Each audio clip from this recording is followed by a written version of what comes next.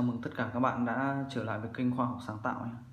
Và hôm nay thì mình sẽ làm một cái video review về ba món đồ chơi đang ờ, rất hot hiện nay ở cửa hàng mình. Đây.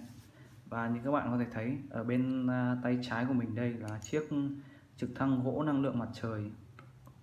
Và cấu tạo của nó thì cũng ờ, rất là đơn giản, chỉ bằng những cái um, miếng gỗ thôi. Um, họ đã cắt ờ, khuôn sẵn cho mình rồi. Mình chỉ việc lắp ghép vào và thử nghiệm. Rất là hay đúng không ạ? Cái trực thăng năng lượng mặt trời này thì mình sẽ có một cái video test ở ngoài trời nắng các bạn nhé. Bởi vì à, hiện tại thì trong phòng này cái ánh điện nó không thể đủ cấp năng lượng để cho cái motor này nó hoạt động được. Và món đồ tiếp theo à, mình muốn giới thiệu với các bạn ở đây là nó chính là ngôi nhà gỗ lắp ráp. Đây thì các bạn có thể thấy mình sẽ xoay qua cho các bạn xem này. đây một chiếc ngôi nhà được lắp ráp bằng gỗ rất là xinh xắn. À, và mở cửa. Đó.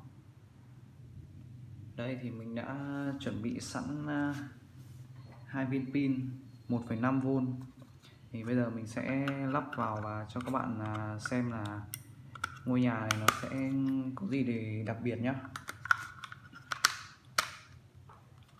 đây.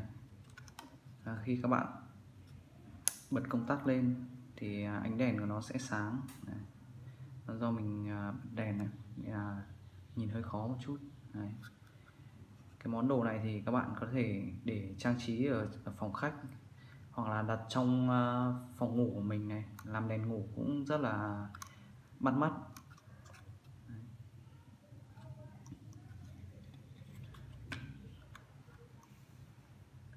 Và món đồ tiếp theo ở bên tay phải của mình đây là chiếc máy lọc không khí bằng gỗ. Này các bạn có thể thấy đây là chiếc cánh quạt để hút uh, gió hút không khí vào. Này và khi mà không khí đi ra thì nó sẽ qua cái tấm màng lọc này.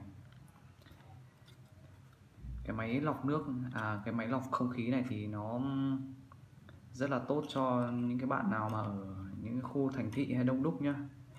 Thì các bạn có thể để chiếc máy này cái lúc mà chúng ta đi học về hay đi làm về đấy. Đi học về đấy. Thì à, nó sẽ cho mình một cái luồng không khí nó mát mẻ, dễ chịu hơn. Bây giờ mình sẽ lắp pin vào và cho các bạn à, xem là chiếc máy này hoạt động như thế nào.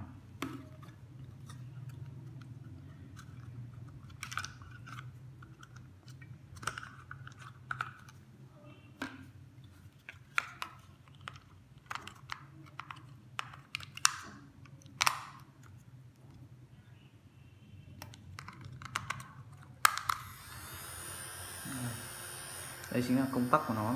Này các bạn. Kéo cái công tắc ra thì chiếc máy này sẽ dừng hoạt động. Và khi mình à, đóng vào này, nó, thì cánh quạt của nó sẽ tự xoay và hút không khí từ ngoài vào.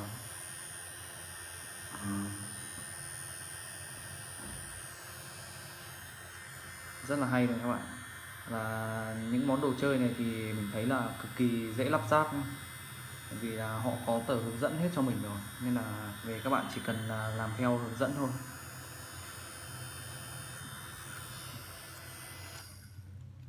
À, và video đến đây là kết thúc rồi.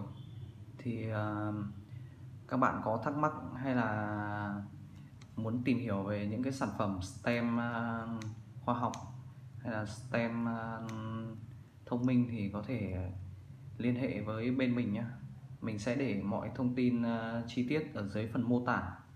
Và các bạn thấy video này hay hữu ích thì hãy cho bên mình một like và một subscribe để mình có động lực làm thêm nhiều video hay hơn nữa cho các bạn uh, xem. Uh, xin chào.